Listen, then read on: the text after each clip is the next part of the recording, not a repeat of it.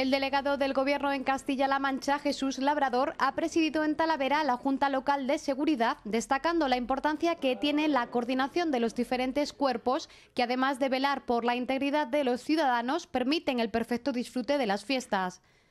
Serán más de 250 efectivos los que diariamente desarrollen esta función durante las próximas ferias de San Mateo. Cuando estamos hablando de una eh, gran concentración de personas, estamos hablando de seguridad, pero también estamos hablando de tráfico, de acceso de carreteras y yo creo que es muy importante que las instituciones colaboren y que las instituciones eh, realicen lo que es su función esencial, el eh, ponerse de acuerdo para dar servicio a los ciudadanos, que es fundamental. Asimismo, algunos temas de especial interés han sido abordados hoy entre el alcalde de Talavera y el delegado del Gobierno.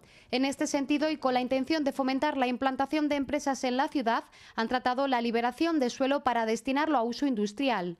Además, Labrador ha adquirido el compromiso de someter al puente del Príncipe Felipe algunas mejoras. En inmediatez es el del puente del Príncipe, la iluminación. Yo creo que podremos avanzar, eh, como ha dicho el alcalde, muy buenas noticias dentro de muy poco tiempo y que podremos ver eh, la realidad de ese proyecto en, en, un breve plazo.